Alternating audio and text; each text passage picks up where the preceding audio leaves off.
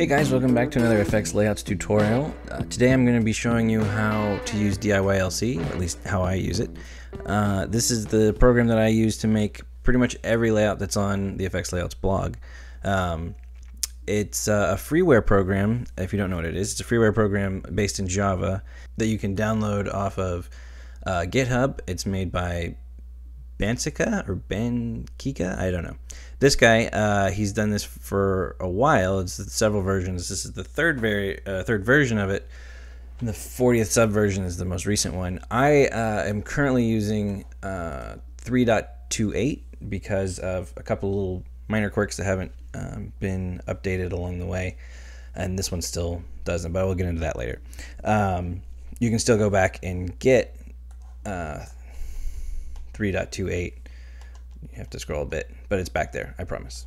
A lot of my components I have changed from the defaults, pretty much everything probably but resistors. Um, so uh, I'm in the description below. There'll be a link to, um, no, and there'll be a link to this file, um, which is not everything, but pretty much everything um, that I use uh, with different colors for the different traces on the PCB side of the layout, um, different sizes of electrolytic electrolytic caps and film caps, uh, and the different resistors.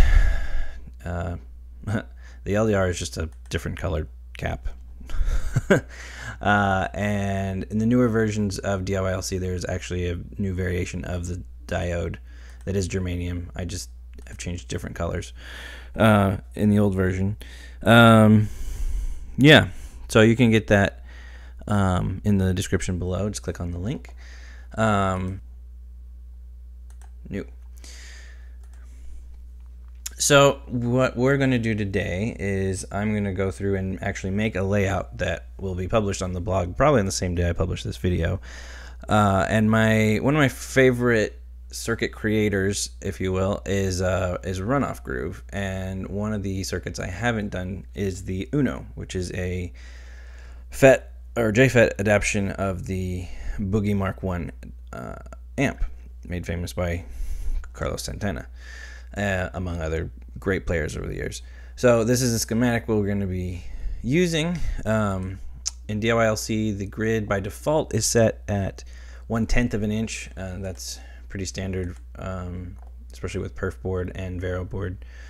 Uh, the holes are generally one tenth of an inch apart. Uh, for the PCB side, when we get to that, um, I will reduce the the grid size down by half to 0.05 inches, um, just so I can fine tune traces and whatnot. So let's take a look at the schematic again. Uh, we see there are four JFET transistors, um, a three band EQ there in the middle, uh, a gain control or volume in this was what they're calling it uh, at the after the first transistor in that first stage.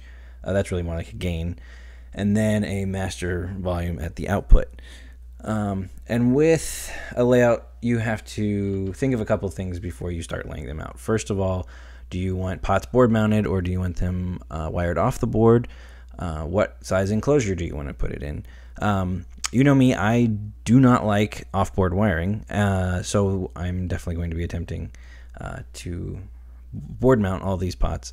Uh, and as far as enclosure size, I typically try to keep the size down to a to fit in a 1590B. Um, I also like 125Bs so I can do top mounted jacks, but if it's going to fit in a 1590B, it'll fit just fine in a 125B.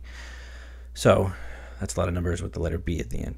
But let's uh, get going looking at how we're going to lay this thing out. So we have five pots. Um, you'll notice the pots, each lug is two tenths of an inch apart. So we are going to put down some pads to correspond to that. And cool. So with the typical right angle uh, PCB mount pots from Alpha, um, the distance between the center of the pot and the uh, connection on the board is a little over, I think, six tenths of an inch.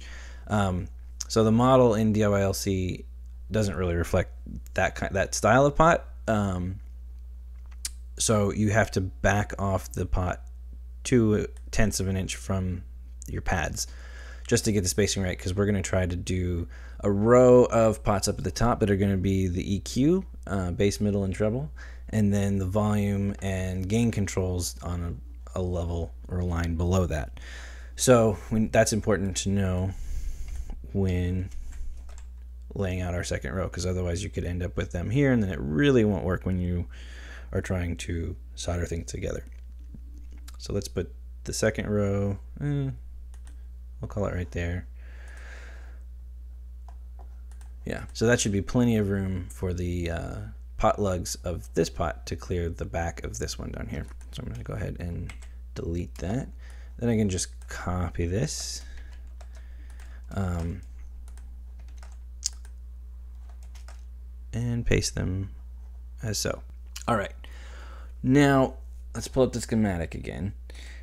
You can start from a couple different places, the most obvious being the input. But since we have a specific layout in mind for the pots, uh, it doesn't always work well to start there. That is a good place to start um, if you're just starting out and aren't worried about board mounted pots or anything. Um, for a more simple circuit, that's a good place to start, especially if you're just beginning in um, creating layouts. Uh, we could start uh, in the middle with the EQ section, uh, since that's kind of funky, especially since we're going to have to reorganize things to keep the mid pot in the middle um, instead of off on the end. Uh, or we can start on the output uh, and work our way backwards. I think for this one, I'm going to start at the output and work backwards. That way, the volume pot would be this one. Uh, the EQ's up here, and we work our way around to the gain and the input section over here. So let's uh, move this over so we can see the schematic a little bit. Uh, we, we're starting the output, okay. First things first, lug one of the master pot goes to ground. So we need to establish where the ground plane is going to be, or traces. Uh, and I normally have the ground go around the perimeter.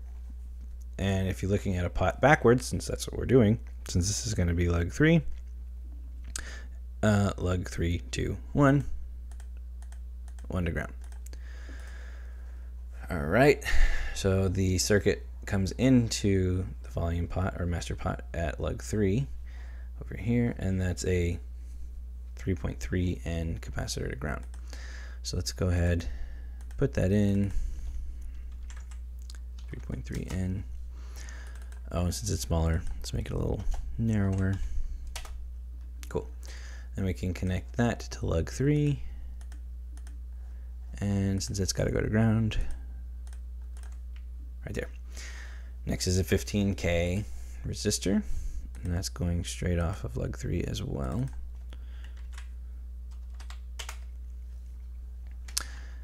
And then we can rearrange our traces and clean things up a little bit. Uh, now I like to, I kind of edit as I go.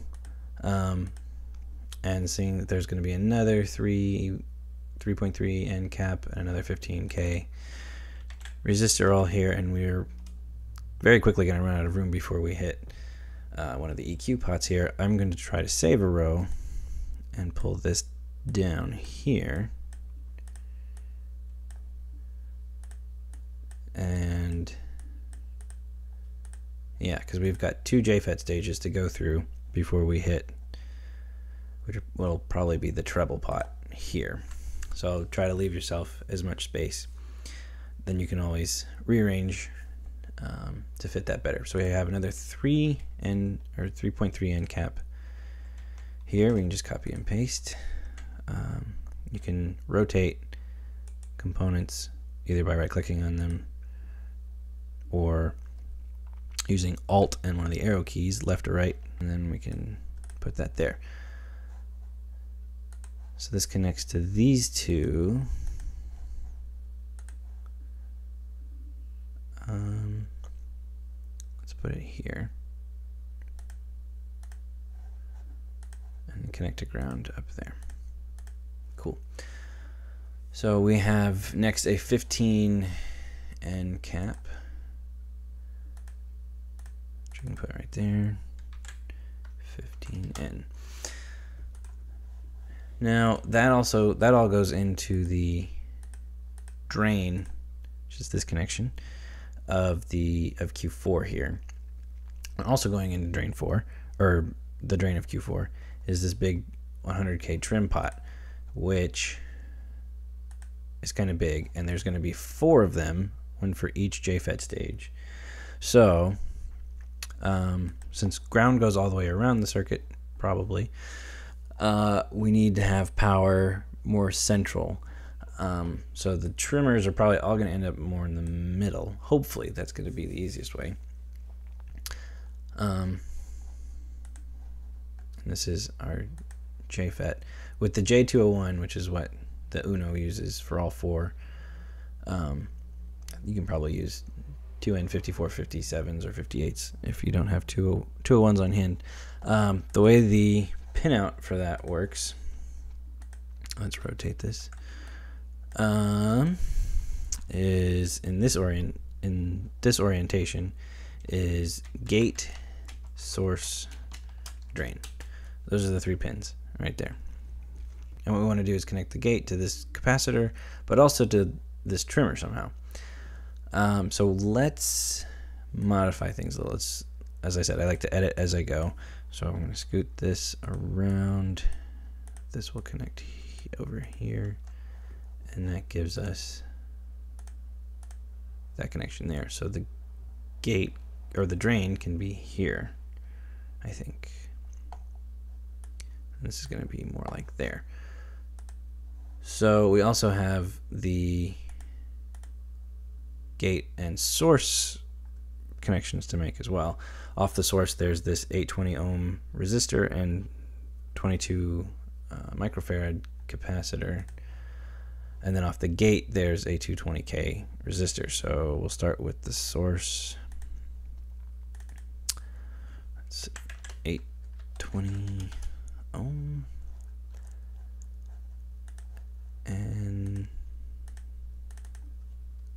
220. Oops. Cool. Ah, I realized something. Circuit has to have an output, right? Let's take care of that. We'll put that here for now. Make that pad. Great. So the ground is going to come around the corner here. Like that. And these gotta have to are gonna have to connect to ground as well. So I'm gonna just move them down a little bit so they're not right underneath that transistor and make that connection.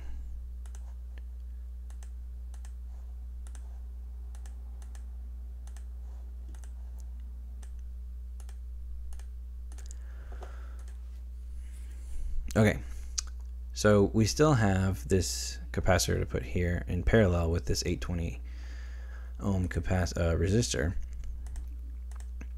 So we'll put that to the left of that. 22. And start making this connection. It just goes like so. Pull that one down. And then connect the cap to ground.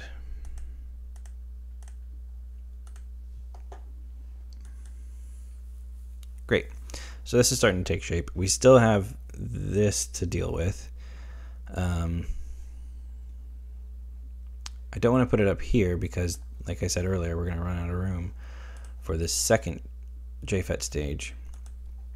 And we want to keep the power all over more in the middle.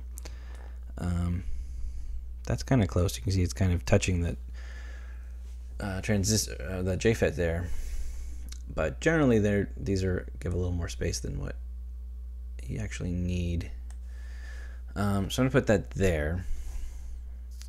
And you can see pins two and one of the trimmer are jumpered and that's what connects to the gate.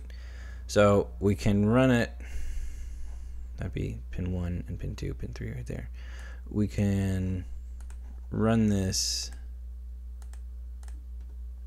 over here and connect it that way. But we still have this 3.3 mega ohm and 10 picofarad capacitor to connect to the gate. So let's do that before we try to connect the trimmer. put the 3.3 mega ohm resistor there. And for anything, generally anything under one nanofarad, I use a ceramic cap. Um, at least the the visual representation of a ceramic cap. All right, there's our 10p cap, and that's gonna what's that's gonna be what goes into uh, the drain of Q3 here, but it still has a 47 nanofarad cap to go through. But we'll get there.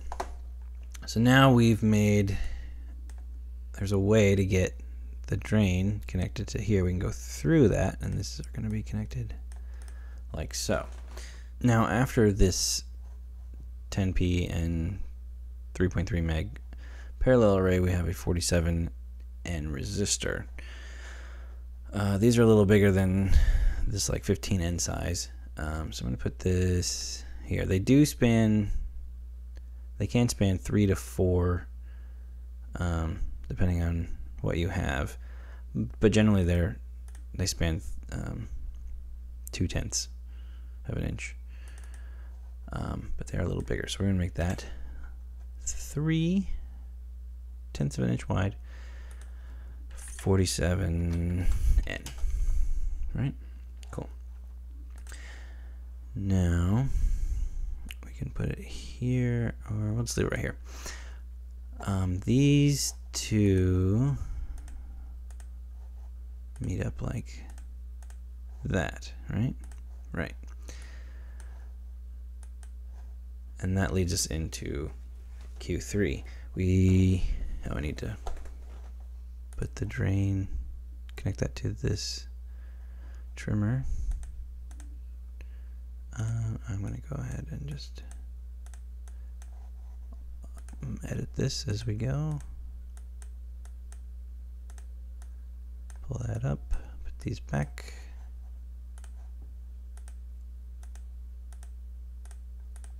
And we'll connect that in a second. Because we have another one of these for Q3, so I'm going to go ahead and copy it and paste it right there. Um, I'm going to bump these over one. That's a little tight, but there should be enough room, um, especially if you use the smaller flat trimmers. It shouldn't be a problem. And then this can go into here, which this is, that's pin one. So we'll do that. And then connect it.